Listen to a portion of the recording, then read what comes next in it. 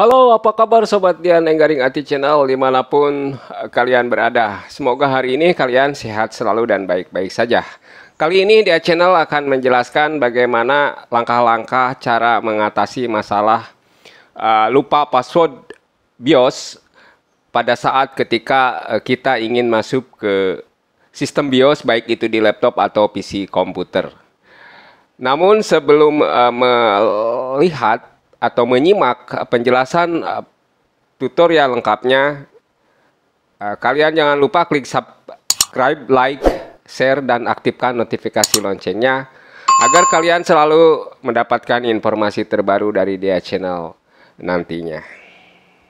Dan untuk contoh tutorial video ini, saya mengalami masalah di salah satu laptop saya yaitu Acer Aspire IS14 di mana pada waktu itu saya ingin uh, menginstal ulang laptop laptop tersebut namun ternyata tidak bisa masuk ke sistem BIOS dikarenakan uh, mengalami masalah uh, lupa password atau kata sandi seperti yang terlihat pada layar ini.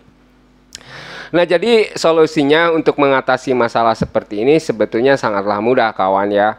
Kalian uh, cukup uh, dengan mengklik sebanyak tiga kali memasukkan kata sandi yang uh, sembarangan ke dalam kolom ya di bagian enter suren password di bawah ini. Jadi uh, silahkan kalian uh, bikin atau masukkan sembarangan saja ya di sini. Entah mungkin tiga huruf, empat huruf, pokoknya bebas. Nah, sebanyak tiga kali ya. Nah, setelah uh, itu, setelah kita melakukan kesalahan tiga kali tersebut, maka nantinya uh, kita akan diblokir. seperti uh, seperti ini, password check file. Ini artinya bahwa uh, password yang dicek adalah salah. Dan silahkan uh, masukkan kembali uh, kata sandi yang uh, ngawur ya, bebas. Dan di sini kembali cek password file. Dan ini yang ketiga silahkan masukkan kembali lalu klik enter ya. Nah, di sini error status, eh, enter enter password 3 item, please put enter. Nah, silahkan kalian klik enter, tombol enter di papan keyboard ya. Uh, nanti akan tampil uh, beberapa kode. Nah, di sini uh, di halaman ini atau di perintah ini silahkan klik enter unlock password ya. Nah, silahkan pilih opsi enter unlock password, lalu klik enter dalam papan keyboard ya. Dan kemudian di sini ada enter unlock password key yaitu 74296741 silahkan kalian catat terlebih dahulu baik itu ke buku atau ke notepad atau ke apa di laptop lain ya atau ke handphone. Ini yang perlu kalian simpan adalah kode key 74296741 ini disimpan dulu dicatat. Baik misalkan dicatat pakai pulpen pun juga tidak apa-apa ya karena itu kode yang sangat penting tersebut. Nah sampai langkah ini didiamkan dulu ini, kemudian uh, silahkan uh, kalian menuju ke tahap berikutnya, yaitu kan kalian gunakan perangkat ponsel lain atau laptop lain untuk uh, mengunjungi situs BIOS uh, pw.org. Baik itu dari laptop lain atau mungkin juga kalian bisa menggunakan perangkat ponsel lain ya.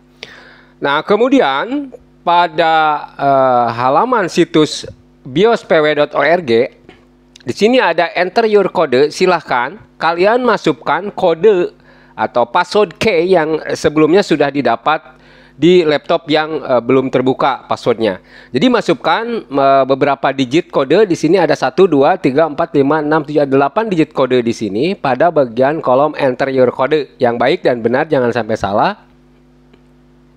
Jika sudah silahkan klik uh, get password ya. Klik klik tombol uh, get password untuk mendapatkan uh, password dari manufaktur tersebut.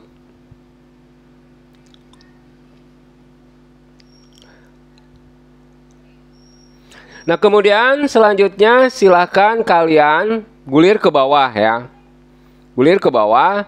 Lalu di sini pilih brand laptop yang uh, bermasalah.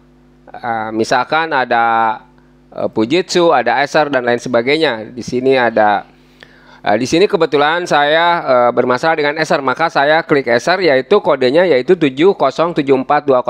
Nah, kemudian kode tersebut silahkan masukkan ke dalam kode lalu klik enter di laptop yang bermasalah password BIOS. Nah, sekarang kalian telah berhasil masuk ke sistem BIOS ya.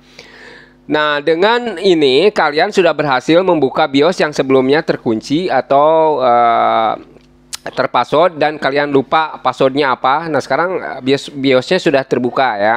Jadi kalian silahkan lanjutkan proses instalasi ulang dan juga jangan lupa kalian untuk uh, mengatur kembali security keamanan atau password dengan password baru jika memang menginginkan untuk memasang password baru. Tetapi jika misalkan tidak bisa aja di disable atau dinonaktifkan password tersebut. Nah mungkin hanya itu saja sedikit tutorial singkat mengenai bagaimana langkah-langkah cara mengatasi lupa password BIOS yang dapat dia channel jelaskan pada tutorial singkat video kali ini. Mudah-mudahan bisa bermanfaat, berguna sekaligus membantu untuk sobat dia channel di mana pun berada. Terima kasih atas kunjungan kalian semua.